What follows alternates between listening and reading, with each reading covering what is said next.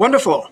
Well, good afternoon, everyone, and thank you for joining us, and welcome to this NACW plenary session on carbon capture, utilization, and storage, a key part of the solution. I'm JP Brisson, a partner at Latham & Watkins in New York City, where I advise clients on climate, low carbon, and net zero issues, including CCS. First, I would like to thank the Climate Action Reserve for convening this annual conference including Craig Ebert and Jenny Watt. I believe, my, I believe I did my first NACW in 2007, and it is a pleasure to participate in this event again uh, this year. So we have seen tremendous growth in interest in subjects. To quote a January article from the New York Times, a surge of corporate money could soon transform carbon removal from science fiction to reality, close quote. And according to a Bloomberg article from last week, ExxonMobil has just proposed a giant $100 billion CC hub project, CCS hub project in the Gulf Coast, which on its own only would sequester more than 50 million tons of greenhouse gas emissions annually. Quite an achievement. So, to make sense of these uh, developments and discuss the potential opportunities and challenges associated with CCS project, I am very excited that we have convened a panel comprising some of the most knowledgeable experts in this area. Joining me today, starting with uh, the bottom right on my screen, Kathy Reheis Boyd, who is president and CEO of the West, Western State Petroleum Association where Kathy manages WSPA's activities on the West Coast. Kathy, I know you've been following CCS, a member of California's Blue Ribbon Panel on CCS in 2010, and I know that your member companies are heavily involved in CCS projects in the US, but also globally. So it is a pleasure to have you with us. Thank you for joining us, Kathy. Thank you. Second, Dr. Julio Friedmann who is a senior research scholar at the Center for Global Clean Energy Policy at Columbia University, where Dr. Friedmann leads a new initiative in carbon management. Dr. Friedmann is one of the most widely known and authoritative experts globally in CCS. I can attest to that because I went to the COP in Madrid, and uh, Dr. Friedmann is literally a star of the COP. Everyone knows him. So we are delighted to have him with us today. And Julio, I am delighted that uh, you are wear, wearing the Carbon Wrangler outfit. I did not expect anything less. Very happy that you are wearing it. So welcome. JP, you are too kind. It's really a treat to be here. Thank you.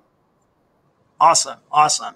And finally, Matt Baker, who is Deputy Secretary for Energy with the California Natural Resources Agency, Prior to joining state government, Matt was the Energy and Climate Program Officer for the Hewlett Foundation in California.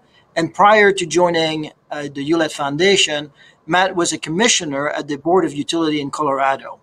Matt, I know you play a central role in CCS policy and regulatory issues in California, and it's absolutely an honor to have you join our panel today. Thank you.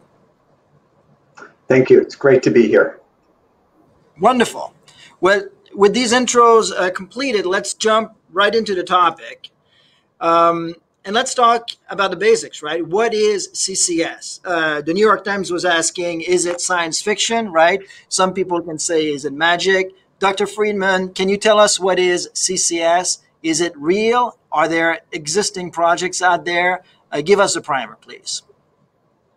Sure. So let's start with what it is carbon capture is established technology uh, that we've had for a very long time.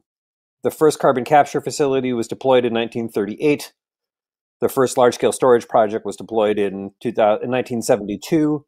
Uh, the first big climate focused project was in 1996. We've been doing this for a long time. There are 21 commercial scale operating facilities around the world today. They capture about 40 million tons of CO2 a year. The uh, aggregate volume is on the order of 300 million tons of CO2 that's been captured and stored. And uh, there's dozens of projects coming up around the world today following hundreds of pilots. So this is something we really understand well and, and have done for a long time. Uh, there's mostly two parts, carbon capture part and the carbon storage part. Uh, the carbon capture part is really just concentrating CO2 either from industrial facilities like power plants or steel mills or cement plants, or from the air uh, to get it to very high purity, about 95% concentration or better. The storage part is injection in the deep subsurface. You're way, way, way below drinking water. You're typically a mile underground and injecting it into geological formations that are configured to store this stuff. So uh, we, the Earth's crust is well configured to store CO2. The capacity to store CO2 is on the order of 10 trillion tons of capacity. So we've, we've got plenty to do. Uh, there's uh, two other parts that are usually involved. One of them is transportation. CO2 is moved by pipeline usually, although people are also looking at moving CO2 by ship. Uh, and you take it from where it's captured to where it's stored.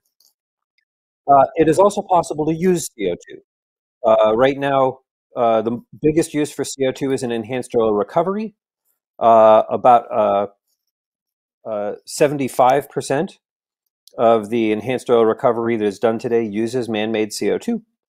Uh, but increasingly, we are looking for other ways to use the CO2 to put it into cement and concrete, to convert it into fuels and chemicals, other kinds of things like that.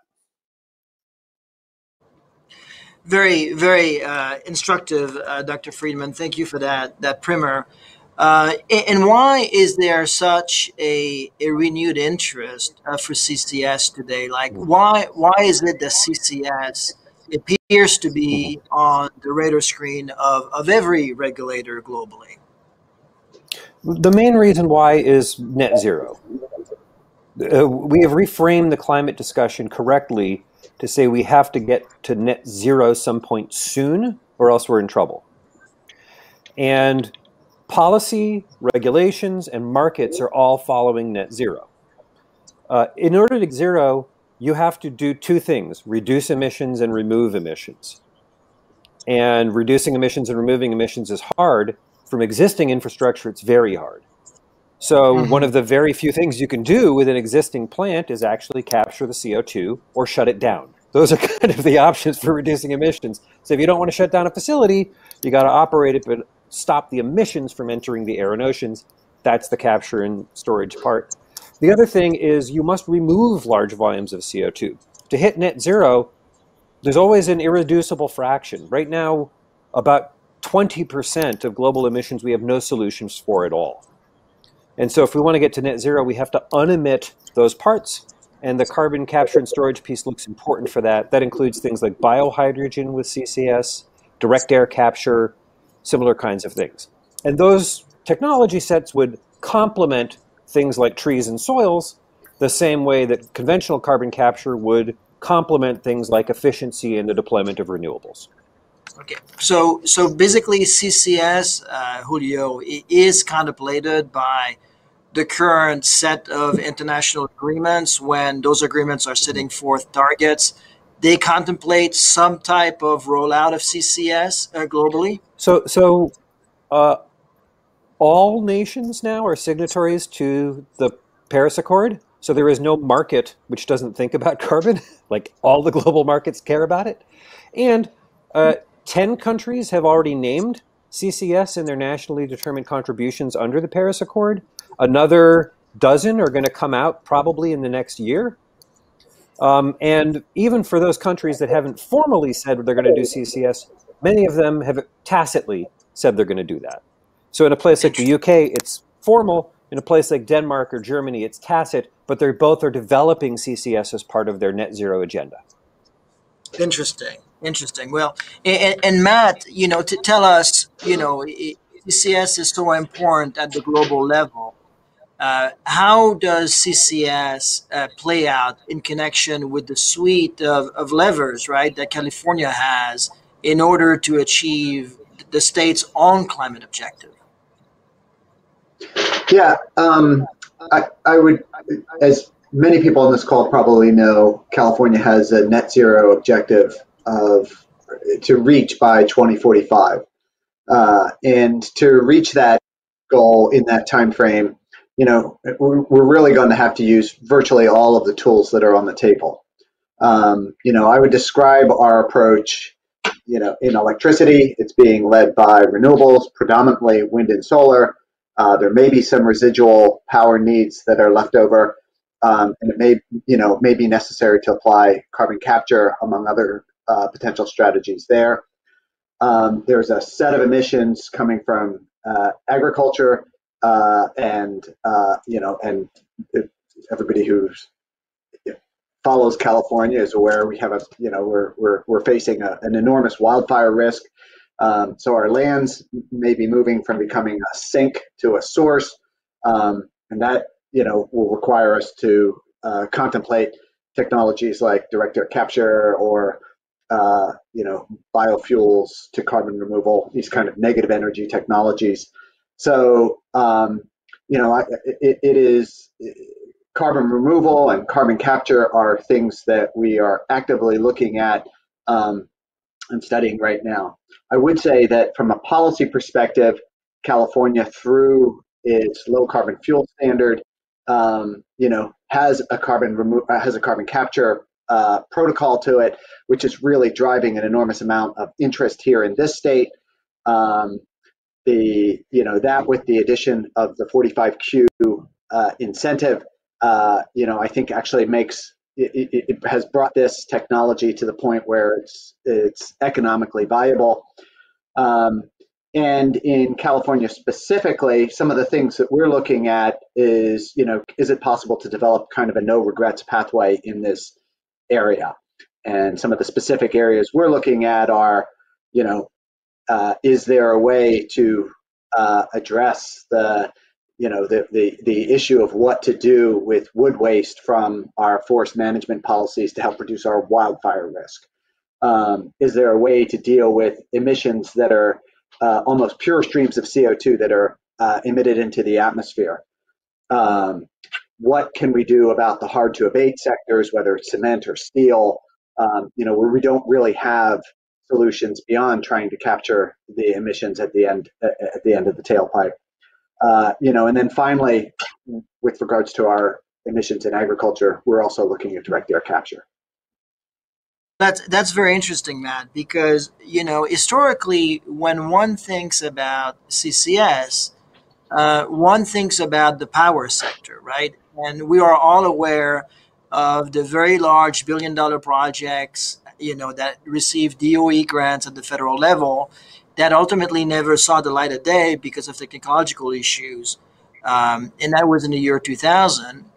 Thinking about the Future Gen project, for example, but there were two of them in the U.S. So, so obviously, California is not necessarily looking at CCS for its power sector. It's looking at CCS for other sectors. Is that what I heard? Yeah, I, I mean, I would say our our uh, power sector strategy is really going to be led by wind and solar um, yeah. and energy efficiency. There, you know, but there are there there will be a need for clean dispatchable power. Um, we don't really know how big that will be, um, and that might be a place where carbon removal or carbon capture uh, is is useful. We're looking really at more kind of uh, you know, like I said, kind of things that are no regrets that we can do right now. Got it. Got it. Well, you know, let, let, let, me do this. Let me ask Kathy a couple of questions and then turn to Julio. Uh, Kathy, um, you know, I, I, think Matt laid out, you know, a, potential scope of application of CCS projects in California. Can, can you tell us about what your member companies are doing, wh- whether, you know, in California today, you know, or globally?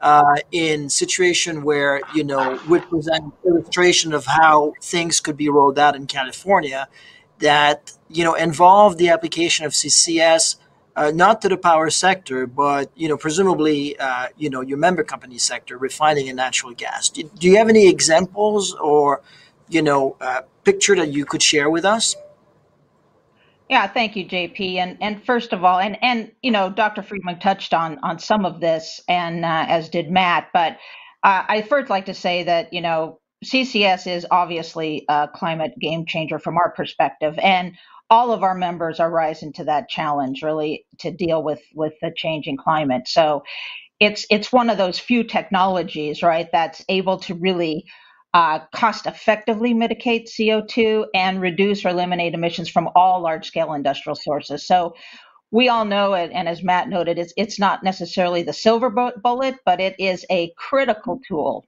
to reversing these trends. And and we could enable the United States, frankly, to safely capture and store hundreds of millions of metric tons uh, a year that otherwise would be released into the atmosphere. So, you know, as Dr. Friedmann said, it's just one of the few technologies that really has the potential to significantly make an impact here. And and obviously as Matt said, it's it's one that will achieve, hopefully, help achieve the net zero climate goals that California has. So, it's it's super important that uh, that we are involved in this and we're looking at it. And as you know, globally, uh, as mentioned, and in fact, uh, I'm, I'm curious. I, I had Dr. Freeman that were 26 large scale CCUS facilities. So whether 20, 21 or 26, uh, it's up there that are operating uh, globally, and 39 more facilities are certainly in development, and 17 new commercial facilities ent- entering that, that pipeline uh, since 2019. 12 out of 17 of them are in the United States, which is exciting. And um, as Matt said, in California, we have to have this happen because we have carbon neutrality goals by 2045 that have to be met. And Lawrence Livermore National Labs, as you know, has done a study that says we cannot meet our goals in California without CCS. Um, so I am encouraged that Matt is um, uh, on the same page with us on this because, frankly, I have been involved in this issue since 2015, and we still do not have a program in California that is uh, up and running. We certainly have some in the pipeline. Hopefully, we'll get many more uh, with the emphasis we need to put on this now. But it, it has not been in California uh, prominent. And I'd hope in this conversation we can get into the conversation as why that is, because California is a leader in many things, but it has not been a leader in CCS. And we've been talking about it for a very long time. And our members are anxious, committed, have announced, have discussed, have tried uh, to move projects forward. So um, I really hope we can talk a little bit, JP, about what is it that is keeping us from going forward? It's it's a very important question, Kathy, because we are seeing projects in Texas, you know, in the Midwest. Uh, I think a couple of projects are under consideration in California, but certainly not advanced. So so let's ask the question later as to why is that, um, because I think it's important. Um, uh, Dr. Yeah, Friedmann. I mean, Go ahead. You did ask JP, you know, specific examples. As you know, Chevron just announced a, a very large project for the Central Valley. Uh, California yep. Resources Corporation, Elk Hills, certainly has one in the pipeline. You already mentioned yep. uh, ExxonMobil, and then Shell and Valero are certainly uh, very prominent right now in this space as well. Good. Yeah. So so all of these companies are are, are your member companies, and, and they are looking at that actively. That, I think that's really important. Um, Dr. Friedmann, tell us about the capture opportunities more at the industrial uh, industrial level, right? When when we think about the emission stack, right? Power is one thing, can be addressed partly through renewable energy. Uh, oil and gas, right? Refining sector, we have direct applications of CCS, especially to start with around the, the, the hydrogen reformers. Uh, what, what, about the more traditional industrial sectors, right? These are, in some jurisdiction, the most difficult nut to crack in terms of greenhouse gas emissions. Are there realistically available, commercially available today technologies, Julio, that would allow the reduction or capture of CO2 at, a cement or, or glass or those other uh, uh, industries? Yes. The, the short answer here is that uh, 90% of the projects around the world are at industrial facilities. So, yeah, you can do that. Uh, there is a zero carbon steel mill in the uh, United Arab Emirates where they're capturing CO2 from steel production. Uh, there are five uh, low carbon hydrogen projects where they're capturing CO2 from steam methane reformers or gasifiers that are making hydrogen. Uh, there are Uh, there are projects in the works right now for capturing from cement plants. Most people don't understand how big a deal this actually is. Uh, if you, depending on how you count it, if you just count the emissions from the industrial sites themselves, it's about a quarter of global emissions. If you include the power associated with that, it's about a third of global emissions come from heavy industry. It's just a huge volume. Uh, in California, in the US, and everywhere in the world now, uh, industrial emissions are either number one or number two emitting sector.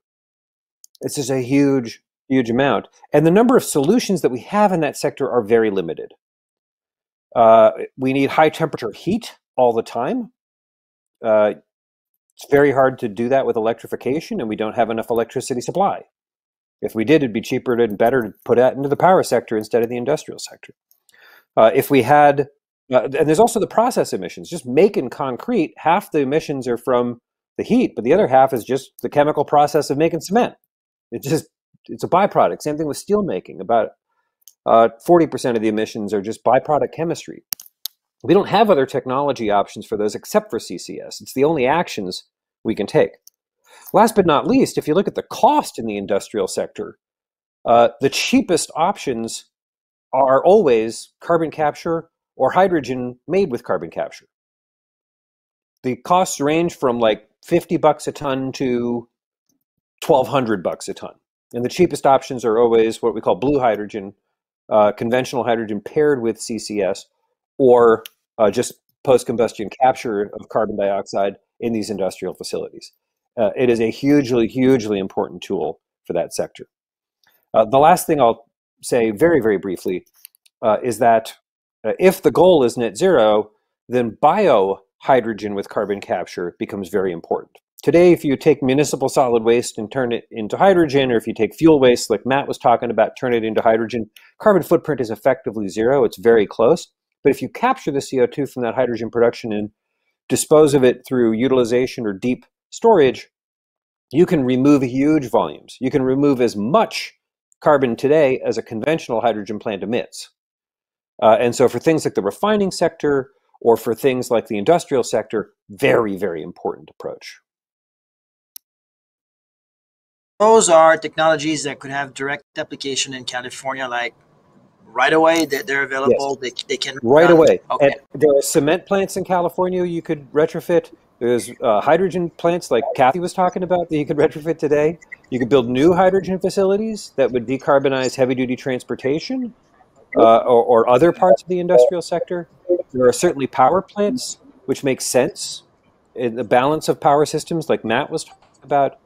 Uh, there are direct applications today that can yield big, big climate dividends. Got it. Got it. Okay. Well, let's let's look about some of the incentive uh, for CCS projects, and then let's discuss why, despite the incentives, perhaps we're not seeing as much action as we thought we would see. But uh, obviously, there's a cost, right, to building these uh, major infrastructure projects. Uh, Julio, you mentioned fifty to twelve hundred dollar per ton of CO two obviously, you know, cap and trade alone uh, in California would not be sufficient to send the proper price signal because the price of a, you know, a, a cap and trade allowance is around twenty dollars today. It's it's borderline, right, in the EU, right, because the allowances in the EU are worth more, but it's not it's not within the price range, uh, Julio, that you've just mentioned. So so let's talk about what else is available to large CCS projects in terms of financial incentive to make sure that they can get off the, the, the ground. And, and perhaps let's start with federal support through the form of uh, tax credits. Kathy, can you can you tell us about the the, the, the currently existing 45Q uh, tax credit program at the federal level that, that exists for CCS projects? Yeah, thanks, JP. And and this is just a critically important topic on how we can extend the 45Q tax credit for these projects because it's expiring in 2024. So it's a really key instrument for um, anyone needing to invest in these projects. So it's super, super important. And as we've said, it is not that we don't know the geology in California. It's not that we don't know the technology in California. It's not that our members aren't well positioned to move forward. We just have to have the political will to do it because it, it isn't it isn't a it, it just isn't a technology issue anymore. So the investment and the incentives are are the key instrument. And as you know, I think API is advocating very strongly at the national level on 45Q to get it extended, and, and that's going to be extremely important. But also, in addition to 45Q, as you know, um, we've got a low carbon fuel standard in California that also really um, needs some modifications to make sure it can be utilized for its fullest potential. Um, and to combine that with the 45 federal tax credits to make sure these projects can pencil out. Because frankly, some of them just don't pencil out because you have to have the incentives from both of those to do that. And so we need some fixes there. And I think uh, ARB is open to that. But um, Matt, I think we're going to need your active engagement on that. But in addition to that, JP, we also have this opportunity um, to incentivize the deployment of CCUS through the state's cap and trade program.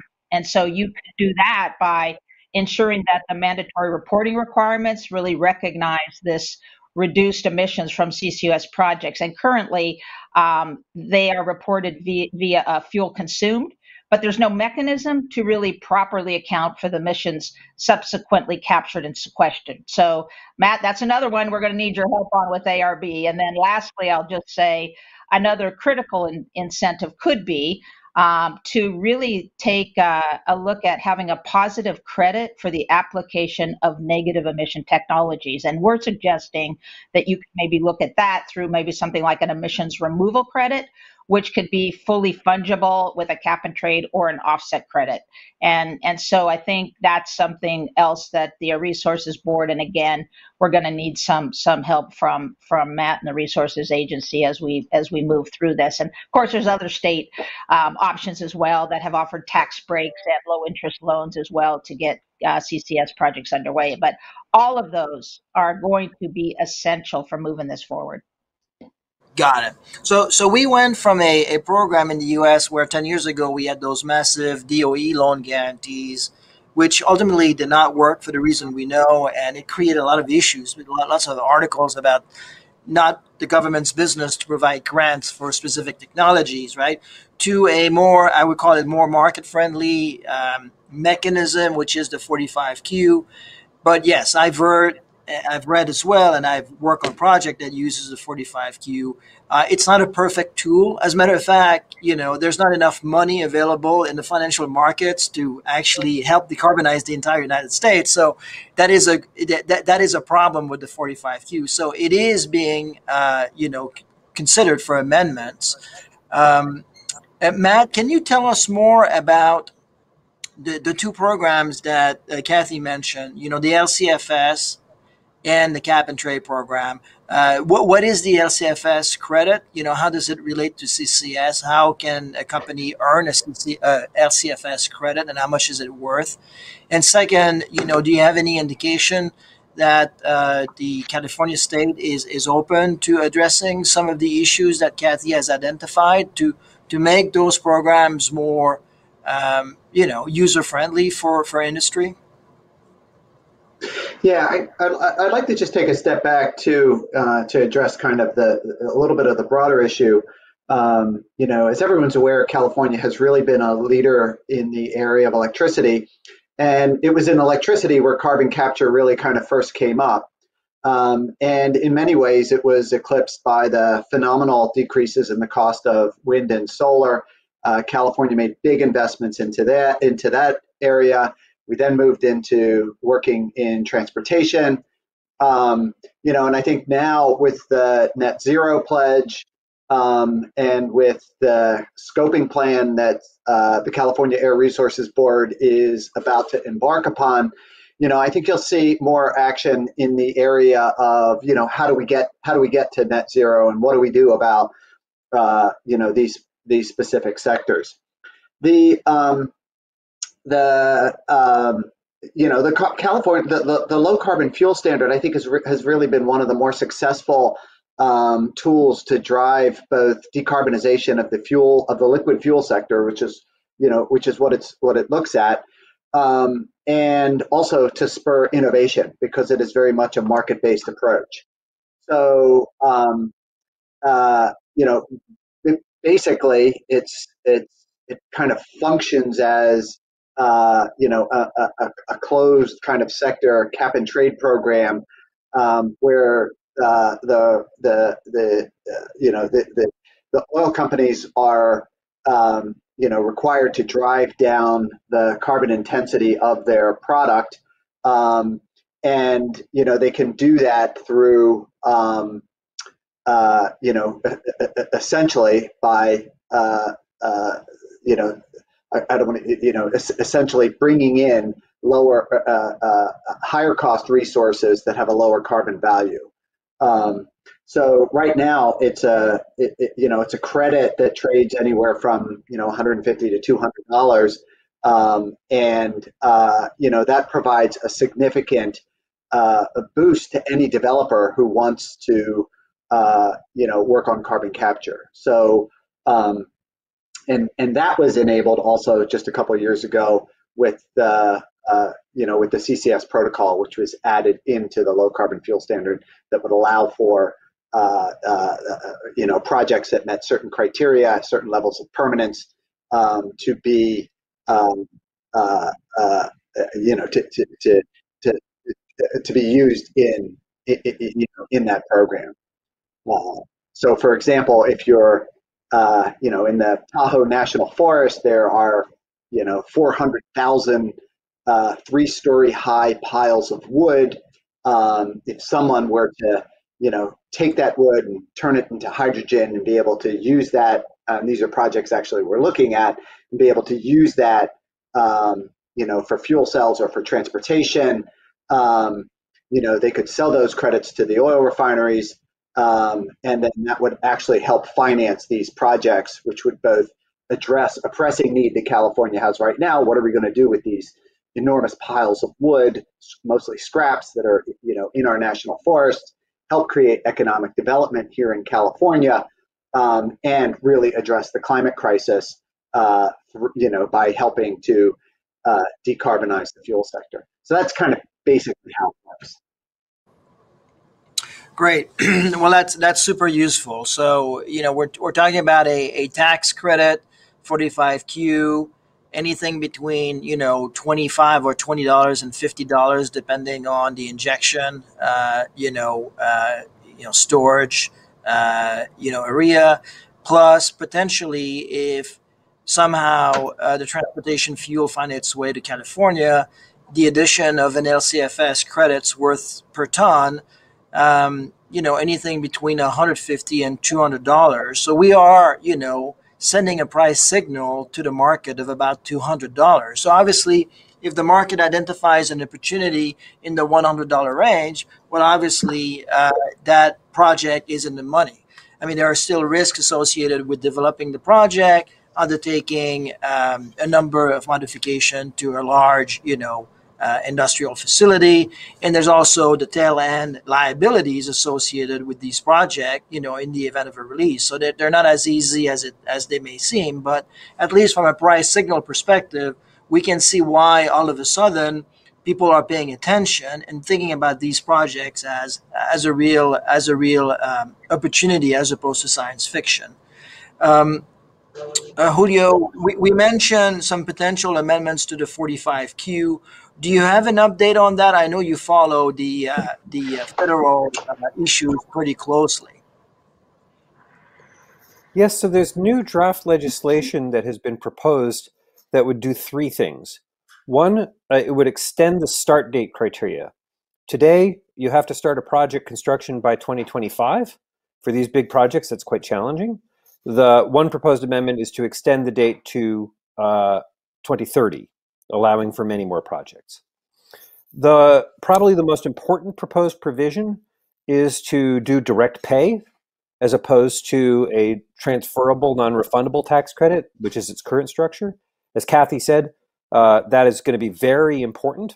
Uh, we do not, as you said, JP, uh, right now there's not enough tax appetite to use all the project uh, opportunity that's out there. So direct pay would actually bring more players on the field and get more projects, and it would increase the value by about another five or six bucks. Last but not least, uh, they're considering specific provisions to raise the incentive, in particular for direct air capture. Uh, there's been a number of proposals floated, but the current draft legislation is for $120 a ton uh, for saline formation storage and $75 for enhanced oil recovery. That additional incentive would certainly make a difference for projects that are right on the fence that are direct air capture projects. If you combine that with the 40 with the low carbon fuel standard provisions and the CCS protocol that Matt mentioned, it starts to look more interesting. And just to be clear, the direct air capture technology you are referring to, Julio, is this technology that allows a, a project mm-hmm. to essentially suck in CO2 from the ambient air as opposed to capturing mm-hmm. the CO2 at a direct source. Is that the case? Yes. Because air is very dilute concentrations of CO2, uh, it's simply more expensive. Uh, and uh, in most cases, prohibitively expensive. But uh, if you have enough incentive, you can do it. We've been doing it on submarines and spacecraft since the 40s. We've been separating CO2 from the air, uh, so we know how to do it. Let me let me add one last thought. The, we, you asked me about the 45Q provisions, but there's other draft legislation that's very important uh, for CCS as well. Uh, the Scale Act, which would help finance infrastructure development, uh, a 48A tax credit amendment, which would serve as an investment tax credit for carbon capture technology. There's others, but uh, I'm delighted to see so much interest and activity in Congress right now focused on incentives and opportunities to deploy CCS. Those would include the 100% clean electricity standard like California has. If that was a national yeah. standard, there would be more power plant retrofits. And last but not least, there is now discussion about expanding the low carbon fuel standard from California into a national program. All of those things would certainly not only bring more renewable and more biomass based sort of solutions onto the field, but it would unquestionably get CCS projects up and running. Fantastic. Fantastic. Obviously, a lot of interesting opportunities, especially now that we have a Biden administration so laser focused on those issues. Um, I want to address um, equity issues in a second because obviously that is central to any discussions of environmental issues today. Before we do that, let's briefly address this question of storage, right? Because you know, th- there are some concerns out there about injecting CO2 underground.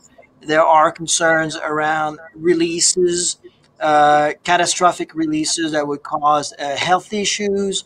There's also a question about okay, well, if there's a release uh, 15 years from now, who will know, right? And who's going to be liable, if if anyone, right? So maybe on the technical side, uh, Julio, you can start, you know, telling us about whether we have any experience with storing CO2 and how it's worked so far.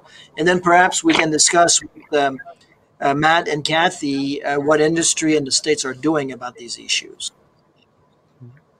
So let's just start with the science, with the physics and chemistry. Uh, we know that CO2 can stay in the earth for a very long time. The oldest naturally occurring CO2 deposit is 280 million years old. That seems like long enough. Uh, it is also the case that if you have a well configured site it can hold CO2 indefinitely. Uh, we know that because we've been doing it for 50 years. The number of leaks have been zero. The number of people harmed has been zero. So we know that we can do it and have doing, done it well. And in fact, the oil and gas industry is extremely well configured to operate and execute these things. And I'm sure that Kathy will will uh, add to that comment. The last point that most people don't understand is there is already a very strong regulatory framework for this.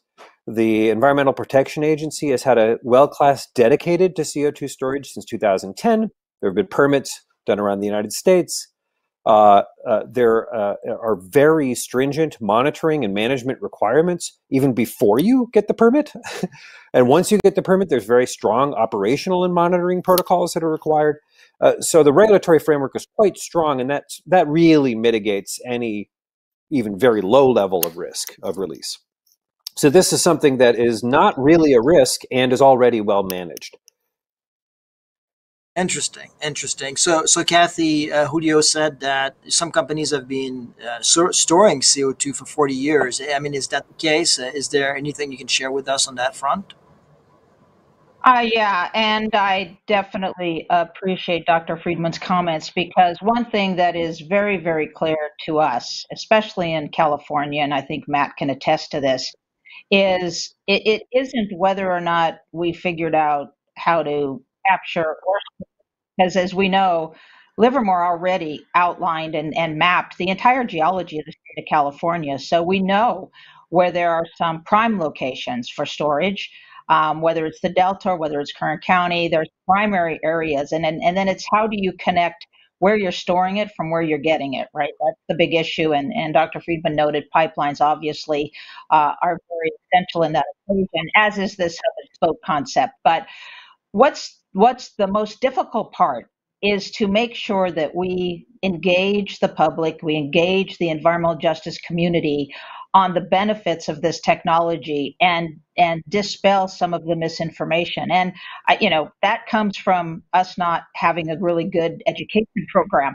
It's not the community's issue. It's more how are we going to get out and talk about this issue so that they feel comfortable? Because frankly, in California, the communities own our license to operate and that will be our bigger bigger obstacle. We have permitting obstacles. We've got legal obstacles. We got all kinds of obstacles to overcome. And that's kind of in the challenge category.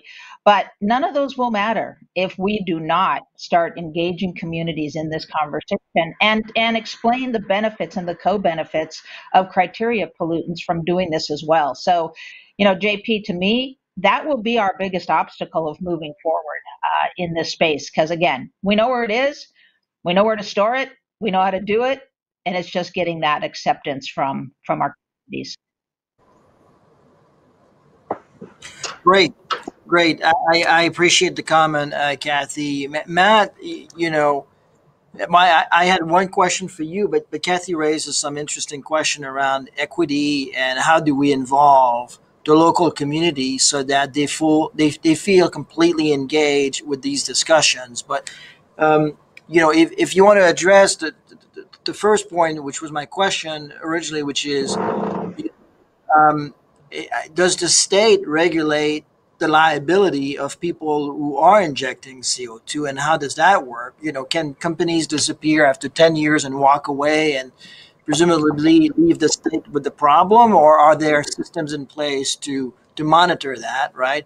And then second, you know, uh, as a second point, would love to hear your perspective from a community engagement and equity, equity issues uh, with respect to these types of large infrastructure projects? Um, yeah, so I, I, would just say on the safety side first. Um, well, I, let me just take a step back. We have, I think there are three kind of, um, uh, you know, uh, externalities uh, around carbon capture that we're deeply concerned about. One is safety, second is uh, pollution, uh, third is economic development, and the, you know these could be positive or negative.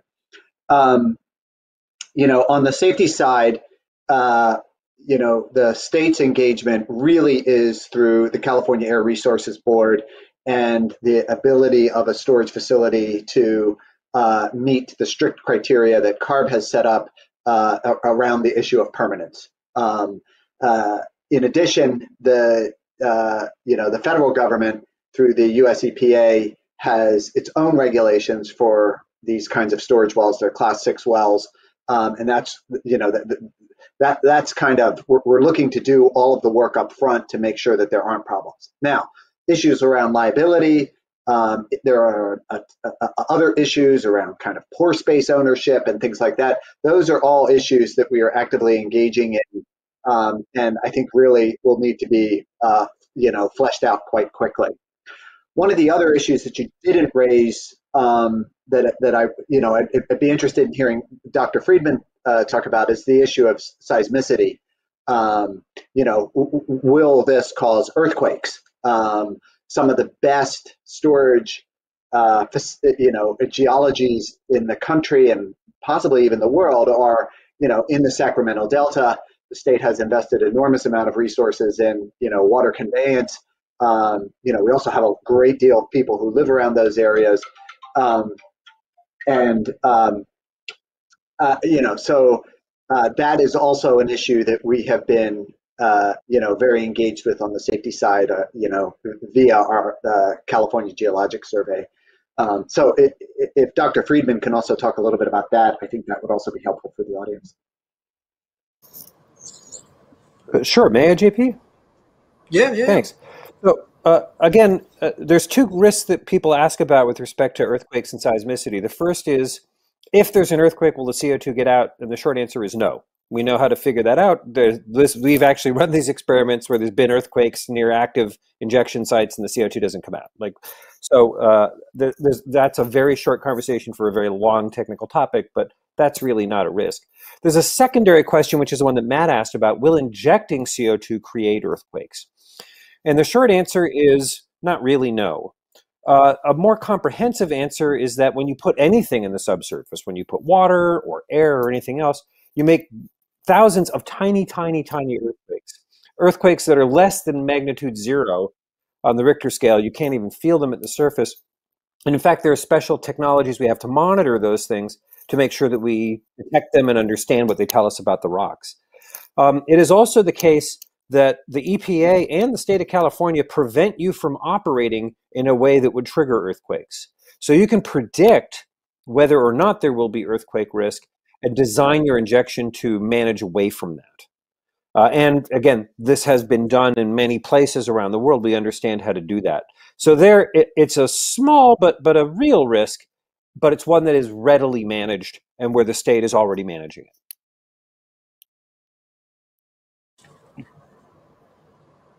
Great, great. I appreciate it. Um, and then on, on the local issue, uh, Matt, did, did you want to say anything about how the state think about, you know, equity issues around CCS projects? Like, are we creating a local problem by trying to solve a, a global one? And what, what are the risks of that? What do we know about it? And, and what's, what's the right way to think about those issues?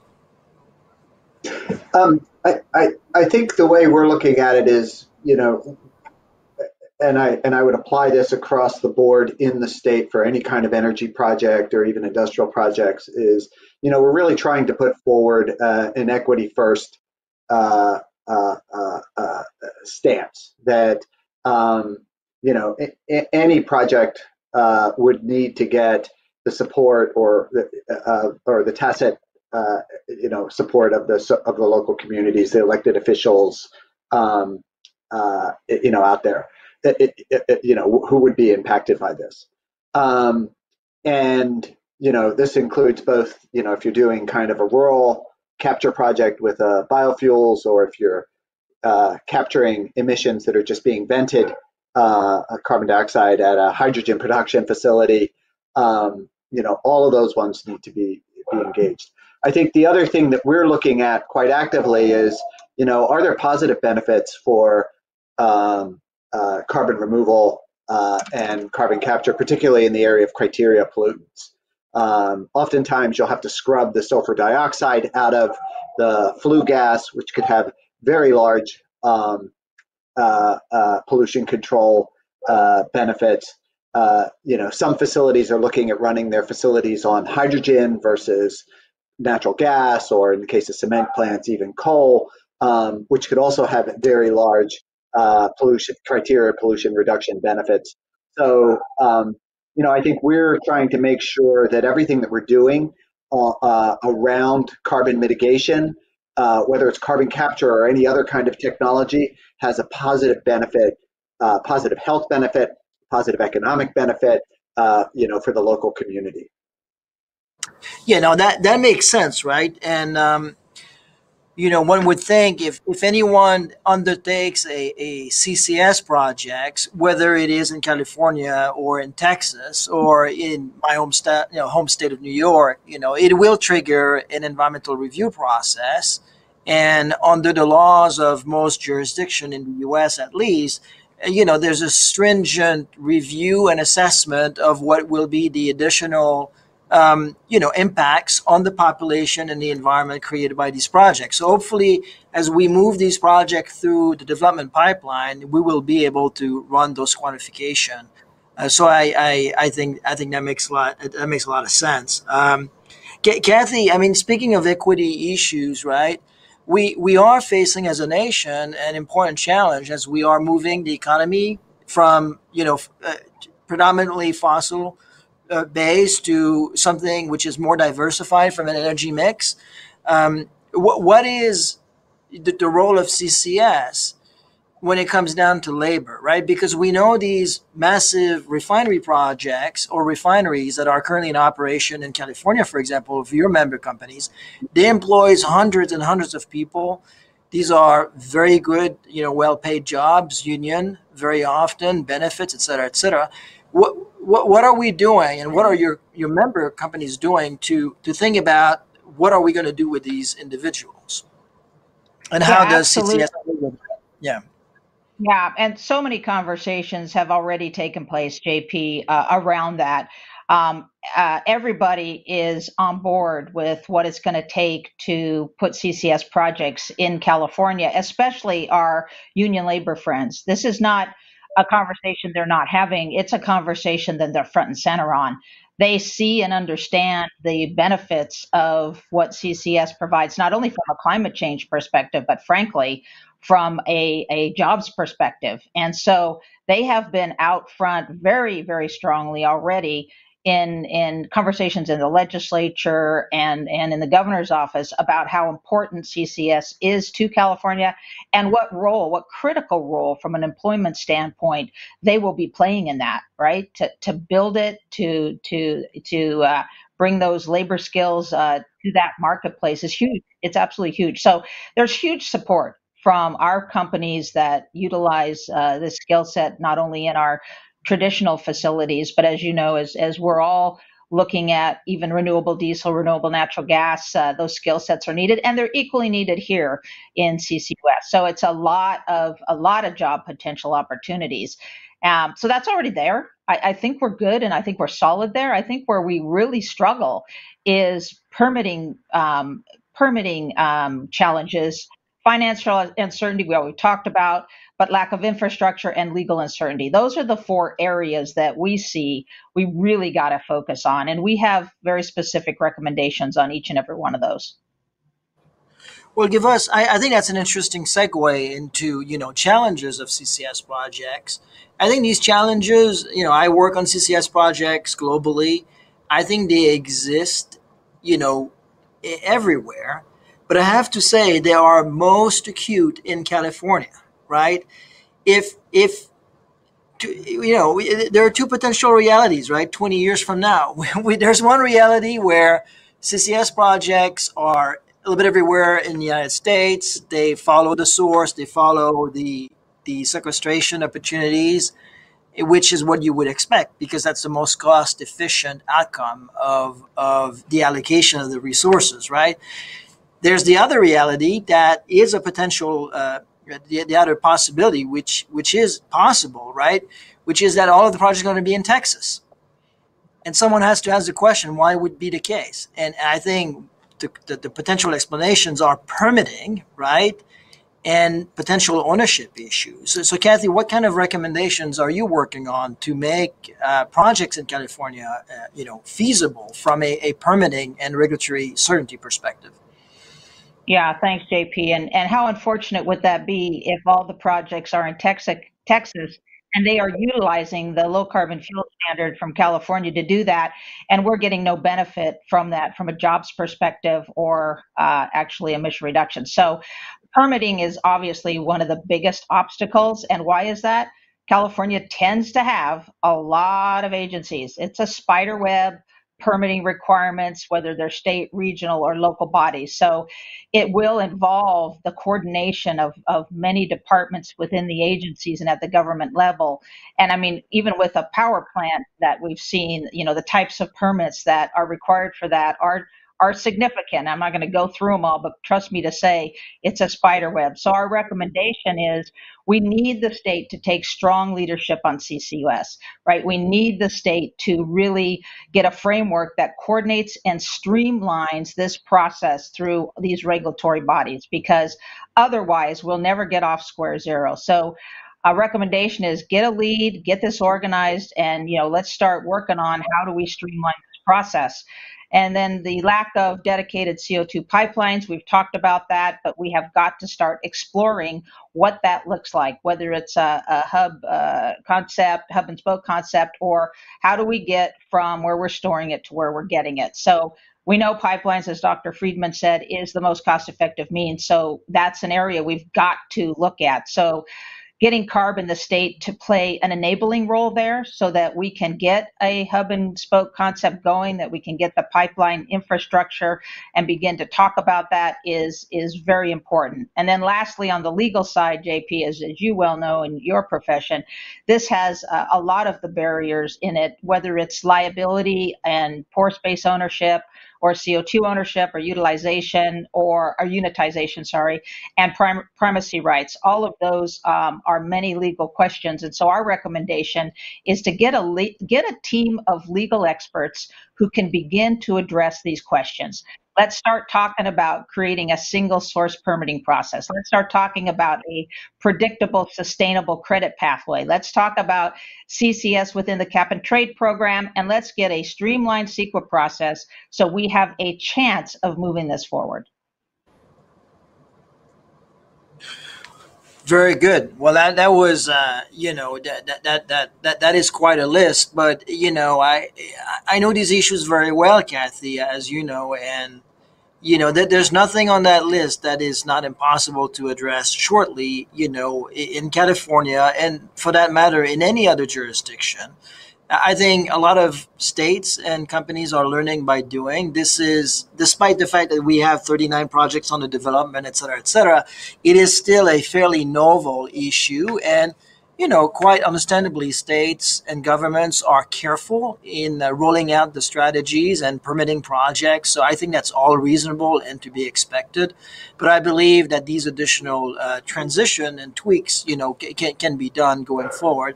Matt, did you, did you want to uh, react to that and, and explain how the current administration in California is uh, is well, you know what what it is doing to address some of those issues? Yeah, I, I, I, mean, I should just say the the first step is to develop kind of a statewide consensus or uh, you know a rough consensus about you know what role these technologies play and where. I think everybody agrees there is a role for them, and you know in certain applications, and I think we have to just kind of get that happen. The place where we're looking to develop that consensus is through the uh, California Air Resources Board scoping process. Um, I think additionally, you know, as we're piloting many of these, uh, you know, projects to, you know, to kind of learn a bit by doing, um, you know, ones that are already, uh, uh, you know, kind of moving through the process, um, it is to use those as opportunities to kind of identify the issues that, you know, some of the issues that that that uh, uh, Kathy touched upon, and uh, you know, really see, you know, how much do we need to, you know, which one should we prioritize, which one should get done first, how how how should we re- respond to those? Um, so you know, I I, I kind of like to use the the you know kind of the Chinese description of you know we're we're crossing the river and we're feeling the stones beneath our feet um, on this uh, on this issue. It's very important. We've got to cross the river pretty quickly um, but there's still a little bit of uh, due diligence work to be done here. Great, great. I, I appreciate the feedback, and I think I think the state's been very open about these issues and has accepted to work with industry. And I think it's a collaboration exercise that everyone in industry very much appreciates. So, so Matt, thank you to you and your agency uh, for all of your work on these issues and your leadership. Uh, it's absolutely outstanding, and it's been uh, extremely uh, well received. Um, Dr. Friedmann, let me uh, ask you to uh, to make perhaps some concluding thoughts. Uh, if we have the time, maybe Matt and, and, Kathy can can supplement. But Julio, if if we if we were to have the, this panel, you know, five years from now at NACW in uh, 2026, uh, where, where where would you like to be? What, what would you like to be talking about? Where do you think we we should be in terms of scaling out, uh, scaling up, and deploying CCS technology around the state? Are we going to still be talking about permitting issues, or do you realistically believe that at that point we, we will have projects to talk about CO2 going into the ground and you know some uh, you know real reduction on on the emissions pathway right that can be attributed to CCS projects so I really believe that we'll have operating projects or projects under construction in the state five years from now, and that we'll be uh, thanking each other for all of the hard work we did in overcoming these barriers. And the most important barrier is actually just the trust barrier that that Mary was alluding to before. We need to trust that investors will get their money back. Communities need to trust that actors are good and the state will act in their behalf. They have to trust they'll receive the benefits that Matt laid out. Um, I think we're building that trust right now. Uh, but I p- think people are going to put the money in place, and I think we need to because we will not reduce emissions quickly enough if we do not put that money in place. We got to bend the curve, uh, and that's going to require some work. I also think that uh, what I really want to be talking about a couple of years from now is is not sort of have. I hope we're past all the permitting issues, and I hope we're past the infrastructure issues. I hope we'll have a couple of dedicated pipelines that just move CO2 from A to B. And what I think we're going to be talking about instead is how do we integrate CO2 removal technology, things like biohydrogen, things like direct air capture with the CCS to help meet the state's negative emissions goals, the net zero component of that that's essential. And I think we're going to be talking about how we can move into other sectors using these technologies. How hydrogen, for example, can help with shipping and with trucking and these other applications and get further, faster, deeper decarbonization. Uh, I sincerely hope that's the case. Time will tell. Fantastic. Well, I think it's a great vision, and I certainly would be uh, delighted if we were to reach that point. Kathy or Matt, any concluding concluding thoughts to share with uh, with the audience? Yeah, I think I would just uh, agree on the trust factor that Dr. Friedmann put out there, but I'd add to that the political will. We've got to have the political will to move this forward. Because with with all due respect, I have been walking across this river on these stones since 2015, and my feet are getting a little sore. So I'm encouraged by the conversation. Um, I, I think the policy driver of carbon neutrality is what got the interest of California going here because we have been talking about it for quite a while.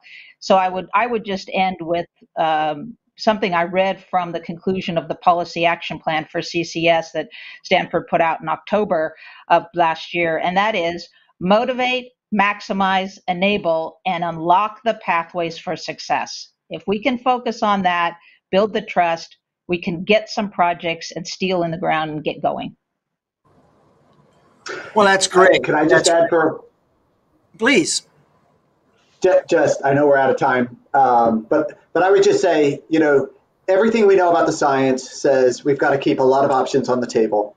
We have a lot of difficult challenges, whether it's industrial applications, whether it's you know the uh, the emissions that we have that we just can't abate, um, you know, or whether it's uh, you know possibly residual power uh, out there. And to be able to succeed by 2045, we've all got to work together on solving, you know, on addressing on addressing these problems. Um, I would say if we could create some, you know, rough consensus, uh, you know, among the various stakeholders, uh, you know, in this area, we could, you know, we, we could look to the uh, uh example of renewable energy, where within 10 years, you know, we were able to transform the electricity system. So I think this is really a, you know, I, I agree with everybody who said trust building is super important.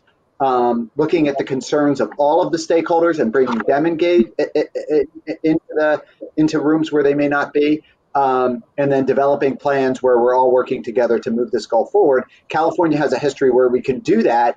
You know, in spite of some of the obstacles that people have laid out, um, let you know, let's use that as a roadmap. Fantastic. Well, Matt, uh, these were very good concluding thoughts. Um, you know, I want to take the last 15 seconds to thank each of you, the panelists, for joining me today. It was a wonderful event. I really appreciate the discussion. I am sure the audience did as well. Uh, thank you very much, everyone, for joining. And uh, we hope uh, to have another one of those next year at NACW. In the meantime, be safe, be healthy, and uh, we will be in touch soon. Thank you. Thank you. Thanks. Thank you, JP.